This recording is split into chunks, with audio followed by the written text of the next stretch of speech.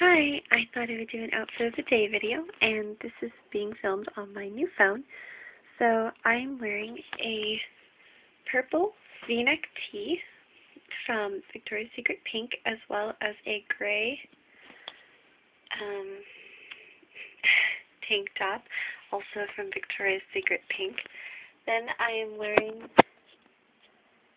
these blue skinny jeans from B Venice and socks from Fred Meyer.